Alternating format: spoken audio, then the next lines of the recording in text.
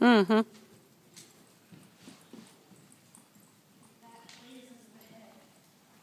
Great.